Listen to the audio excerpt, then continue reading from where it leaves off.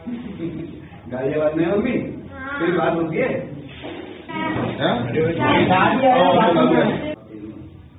एक दो बच्चे और वहाँ रखवाएँगे नहीं तो कहीं नहीं इसकी व्यवस्था कर मैं तुम ले मेरा नाम ज्ञानेंद्र मिश्रा है और हम लोग यहाँ पे चाइल्ड लाइन चलाते हैं अलीगढ़ में। एक बालिका जो केदारनाथ में आपदा आई थी तो वो अपने परिजनों के साथ गई थी, माता और पिता के साथ में गई थी तो वहाँ उसके पिता का देहांत हो गया और माता से वो बिछड़ गई। वो बालिका थोड़ी मानसिक रूप से दिव्यांग थी और उसे आँखों से भी दिखाई देता था। तो जम्मू पुलिस ने उसको जो है तभी शेल्टर होम में वहाँ जम्मू में भर्ती एडमिट करा दिया था। पाँच सालों बाद बच्ची ने अपना पता अलीगढ़ का बताया। तो बाल कल्याण समिति जम्मू ने तत्काल ही अलीगढ़ के शहर विधायक संजीव राजा जी को कॉल किया और उन्होंने कहा कि इस मामले में थोड़ा मदद कीजिए।